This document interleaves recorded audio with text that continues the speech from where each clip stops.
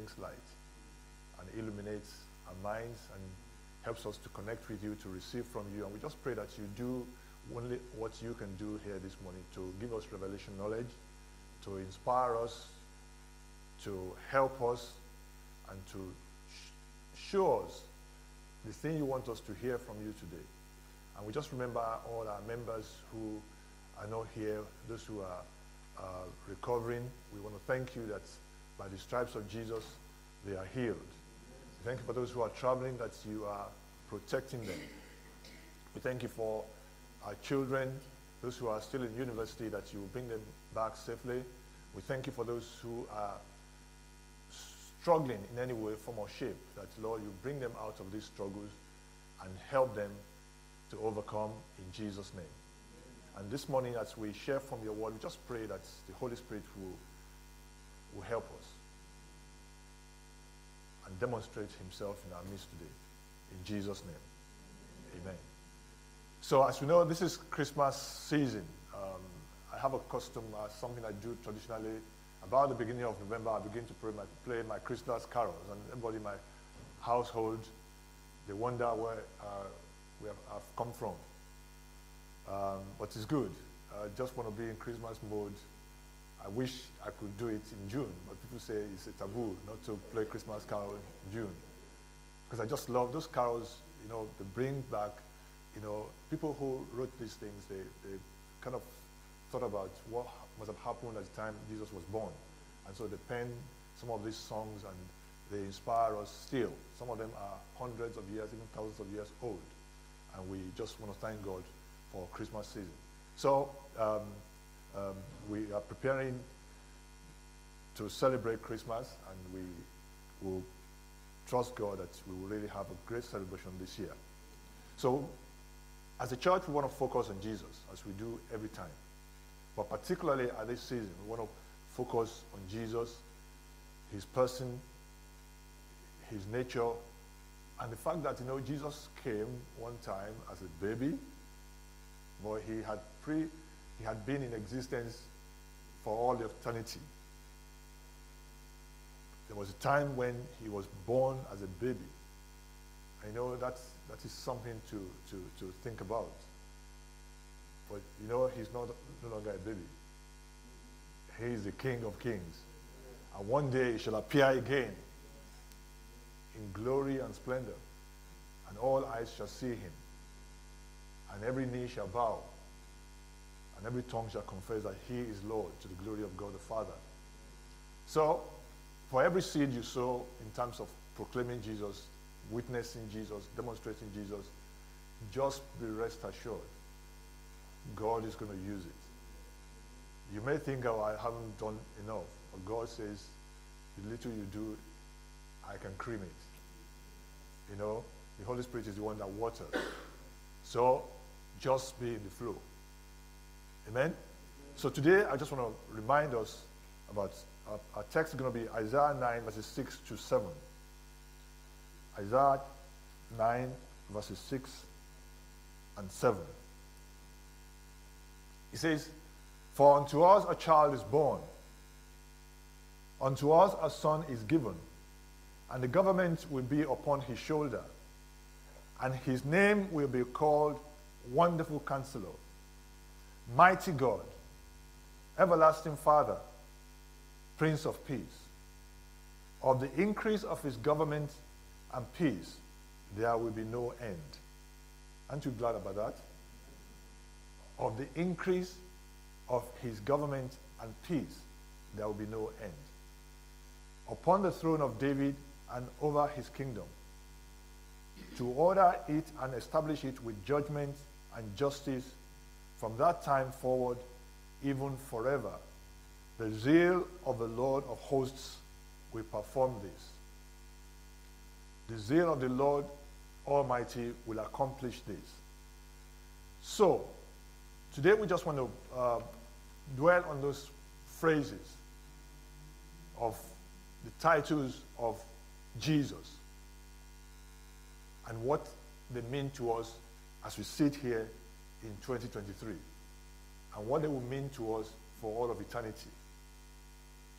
Now, but before we get into that, let me just make a few comments about the, the, the, the phrase for unto us a child is born and unto us a son is given. If you are familiar with Hebrew writing, there's what we call repetition to make emphasis. So when something is repeated, same thing, similar things are repeated, it's bringing them into emphasis to take, take notes. So when he says a child is born and a son is given, as we know, Jesus was a human being and he was God. He was fully human and fully God when he came. And just for your information, he still has his human form on the throne right now. So you have a representative in heaven. Aren't you glad? And that brings hope immediately to us that one day you and I shall have a resurrected body. Aren't you glad? Amen. For those who are seemingly okay physically, you can dream of something much, much better. And for those who may struggle, I also have news for you. You're going to have a resurrected body. And it's not going to be like this no pain, no, you know, those things that happen, particularly when you get past 20. So, there's hope for all, of, all of us. But when he says a son, a, a child, a child is born, you know, he had to come in the form of a human being to be able to justify the requirements of the Father to redeem us, to be our substitute. And we should bear that in mind. But he was not born like you and I. You and I were born of the seed of a man. So we were born sinners. He was born of the seed of God. So he was not a sinner. And he never committed sin. That is his difference. And then it says, a son is given. When you hear the word give, what does it, what does it portray to you? A gift. So a son became a gift to you. And this son was the eternal son of God, with the second person of the Trinity, God the Father, God the Son, and God the Holy Spirit. So he was given to us as a gift. And when something is given to us as a gift, what do we do? we receive that gift and we treasure the gift. So he was deity, divine person who walked on this planet so that he could live and show us how to live in connection, dependence on God the Father, so that we could, you know, do the works of the Father. Then he says, um, the government will be upon his shoulder. You know, that is a prophetic statement. Because the government of Jesus, even though it's been established, is not in its fullness at the moment. That's why you still have pockets of government all over the place. But his government, which is the kingdom of God, is going to subsume everything. It's going to be the everlasting government in the universe. But this statement will be realized in fullness in the millennium when Jesus comes back to establish his kingdom. But at the moment, we can see the evidence of this government in action. Because every time a life is transformed from darkness into light, that is the proof of his government. Every time you see things that are happening that are bringing hope and help to people. That is a sign of his government. Every time you see someone sitting by a homeless person, trying to help them to understand life, that is God, Jesus' government in demonstration. So the government is in action right now and is happening all around us. But it's not full yet. And so we've got to be mindful of that. Because this government, as someone would say, what does that government really look like? It looks like the king of the government. Because every government, if you, if you, particularly if you look around the whole world, you find that nations are being governed by individuals. And sometimes when someone comes, you know, into power, they begin to show their color. So you have tyrants. When they are in government, it's a government of tyranny. When good people are in government, it's a government of goodness. So the government of Jesus reflects him. And he is that king, he is that son of God who has been given to us. But of our particular interest today are those titles which mentioned, because those titles actually reflect his nature. You know, they, they are just virtually echoing aspects of his character. They describe who he is and what he has come to do. And so when you say Jesus is the wonderful counselor, it means that that describes who he is and what he's doing. I mean, the word wonderful is very interesting. You know, I, I, I love words and I love researching into words. But the best definition of wonder, wonderful that I can that came across was, of course, something that makes you to wonder. But more importantly, is something beyond your understanding. Because when something wonderful happens to you, you can try to understand it, but your head cannot wrap around it. So when a miracle happens, can you, can you tell me what just happened? You just wonder. So when someone stands up from a wheelchair and someone who has not been touched by anything, you know that's a wonder. That is something that blows your understanding. You cannot describe it that, oh, one plus one, we put this there and we put that there and that happens. But when that word wonderful is coined with counselor, counselor simply means someone who counsels, someone who gives advice. When he says Jesus is the wonderful counselor, it means that it's the one who can give you an advice that will blow your mind. That is not something you can say, you know, from our logical uh, training. We've put this together. And so Jesus has been given to us as our wonderful counselor. He's the one that can counsel us, you know, with the right kind of counsel at the right time for the right things. So, which means God wants to help us.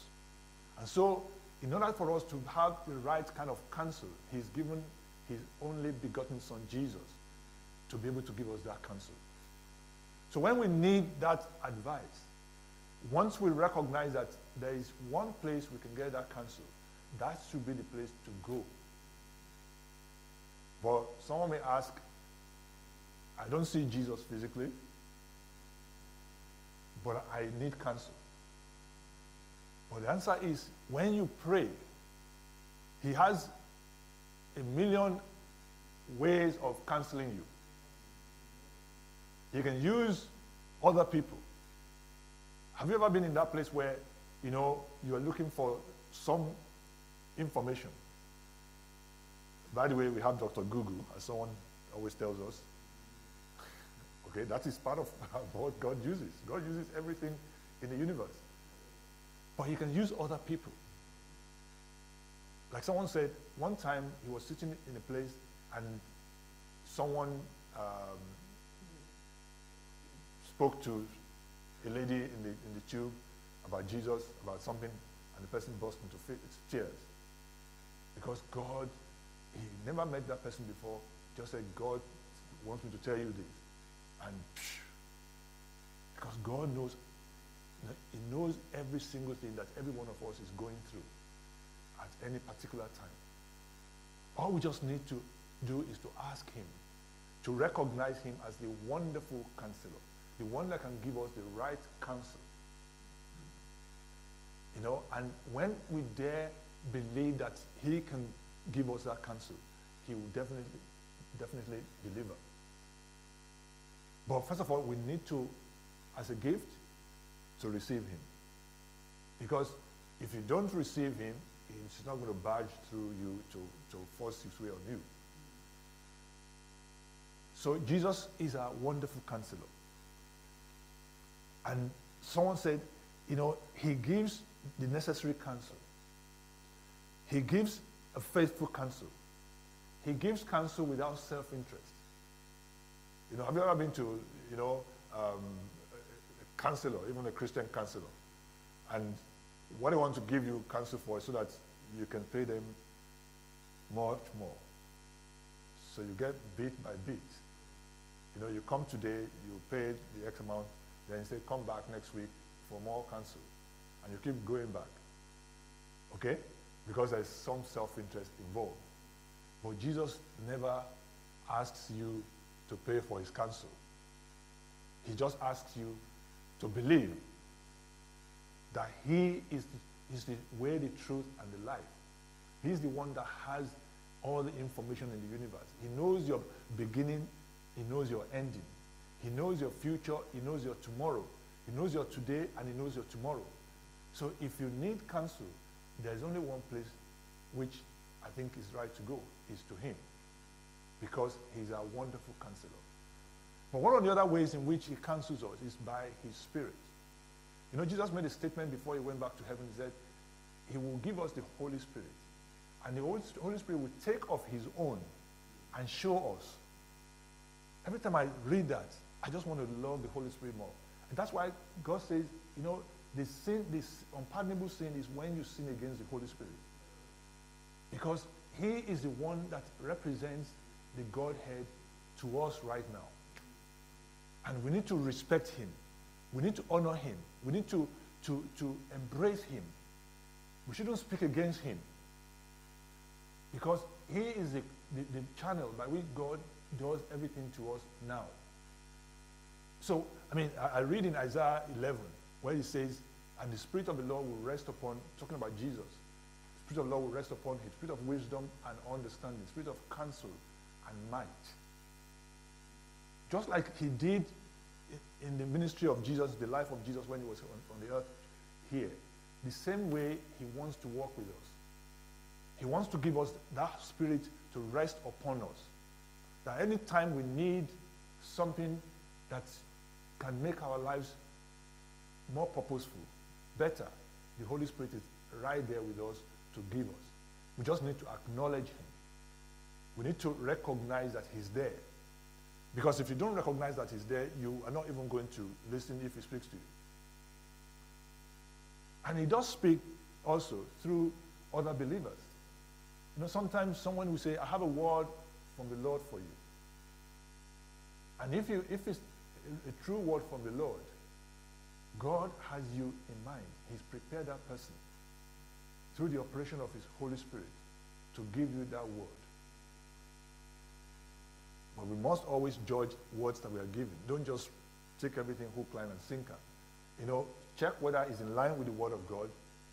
Because if someone says, go and jump into, into the sea, that cannot be from the Lord. You yourself should figure that out. Or he says, go and take all your money in your bank account and give it to me. you go say, where is the hammer? You know, I've got to break some head here. So it's important for us to judge what words we are given. But we have the Holy Spirit who is available to us as the counselor. He's the spirit of counsel. He's the one that can give us the right information we need at any time. Then he talks about being mighty God. That Jesus, the Messiah, is the mighty God. You know, I, I like that word, and we've been singing about it earlier on today, because one thing that we need in this life is strength. We need power for living. Amen? Amen?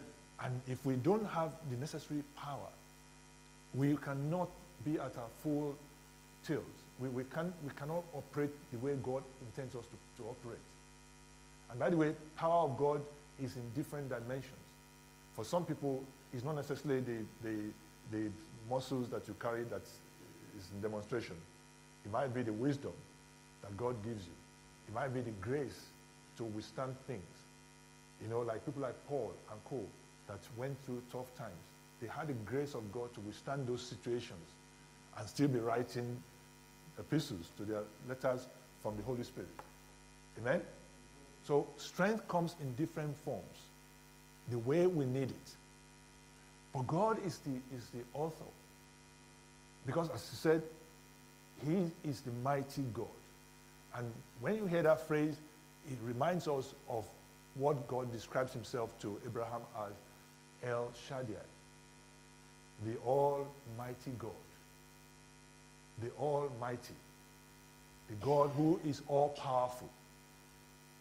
So Jesus has been given to us as the Almighty. And in this season of goodwill, this season of this Christmas is when we remember his first coming. We should maximize every single thing he's made, he's made available to us. So if you need strength in any way, you can turn to him. You know, because he's able to provide that.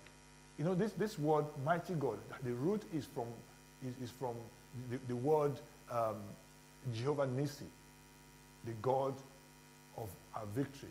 In fact, the literal thing it says, the God of the battles. Is the God that helps us through our battles. And this life is filled with battles. And so we've got to recognize that God is made himself available to us to help us fight in our battles. I was reading in a place the other day, Psalm 144. He says, He trains my hand for war and my fingers for battles. God does that. You know, have you been in a battle where you feel overwhelmed? You know, David said in one place, Please rescue me. My enemies are too strong for me. And if you read the story of the life of David, he conquered every enemy that came across him by the power of God. He didn't have to rely on his own strength. He called for the power of God when necessary. And God always showed up. So it, it's important for us to recognize that God is our Almighty. And Jesus is the mighty God in our life. And so when you need strength, when you need power, when you need, you know, any, any assistance, you can call upon him. He also says he's the God of our victory. You know, he's the God that takes you from one level of victory to another. You know, if you had victories yesterday, guess what? Another level of victory is in, you are in line for another level of victory. You just need to position yourself in God for that. So uh, in this season, let us be reminded that Jesus is the mighty God in our lives. Then he talks about the, the everlasting Father. You know, as you know, we serve a Trinitarian God. God the Father, God the Son, God the Holy Spirit. It's not saying Jesus is the substitute, is, is, is, is the, the Father. No. That word Father means protect, protector. What does the word Father mean to us in the earthly realm? The Father is supposed to protect the family. Jesus has been given to us as the everlasting Father. He's the one that protects us, not just in the here and now, but for all of eternity. And so we've got to remind ourselves, we need to fill our minds with these things. We need to focus on these things because he says, looking on to Jesus, the author and the finisher of our faith. Because when you look around at the crisis in the world, at all the things that are going on around us, before us, ahead of us, our hearts can fear. But when you remember, you have a Savior you have a Messiah who has been given, who has come to show you the heart of God for you. And you rely on Him, you focus on Him, it is a lot easier to live in this world, in spite of all that's going on. And then the last one, he says the Prince of Peace. I mean, that is, it needs no, no amplification or uh, explanation. We know that this world needs peace. And it's not the kind of peace that the world is trying to broker. It's the only peace that can come from the king himself. And we all need this peace. And we need to be stewards of this peace to let other people know that this peace can be theirs. This peace is available. Amen? Is a peace because Jesus is the prince, is the one who makes peace between us and God and is the one that can bring peace between us and us. And it's even the one that can bring peace between you and you. How many of you know that the greatest need for peace in a lot of people is within them? They have to be reconciled with themselves. People are in turmoil within themselves. They are not sure whether they want to agree with themselves. And the enemy steps in and creates chaos. But when we know that we have the Prince of Peace who has been given to us, and for those of us who are Christians, we embraced him. He's now in us. It makes it a lot easier to position ourselves in that place where we can have that state of calm. Our brother's testimony was instructive, was very interesting. I don't know the phrase he used, I'm always okay or something like that. I'm always fine. That should be our song. I'm, I'm fine. Let's practice. See, I'm fine. I'm fine. You know why you're fine? Because Jesus is available to you. You can practice that when, when you are going through raging storm. I'm fine. I'm fine. You know what that does? You know, just like Jesus stilled the storm when he was in the back of the boat and, you know, the, the storms were roaring and the disciples not having figured out what was going on. They thought this is going to drown them, and Jesus, come on. I mean, even you and I have more intelligence than that. But not. because they were still in the flesh. They were still, you know, everything was just processed by what they can see, what they can feel. So they saw that, and Jesus was at the back of the boat sleeping. And they were trying to put the water out. And the Lord was asleep. You know what he said? You don't seem to care. How can you tell the caregiver, the caretaker that he doesn't care? Because you haven't figured out what or who he is. But every time we recognize who he is in our lives, we can say, I'm fine. Say, I'm fine again. Fine. You know, because the more you say that to yourself, the more convinced you are. You know, you believe your own words more than you believe the word of other people. I can stay here for the next two hours and tell you things, but if you don't believe yourself, I'm just telling you words. Amen? So you've got to begin to believe who Jesus is to you. And so, as I close today, in this season of goodwill, I want to challenge us that let us focus our eyes, our mind, our thoughts on who Jesus is, what he has come to do, his nature. He's been given to us as a gift. And we should embrace that gift. And I read a, a, a passage, if you could please put that up, Colossians 1.27. He said, this is the mystery of the new covenant. That Christ in you, the hope of glory. Christ in you, the hope of glory. You know what that means? It means that every time you, you, because Jesus has come to live in you, every time you factor him into your situation, the outcome is going to be glorious. You know, someone put it very well, an evangelist that lived about 50 years ago. He said, every time, he said he had no gift. He had nothing to offer. And he was a missionary in India and, and the, all the other parts, American missionary in India and other parts of the world.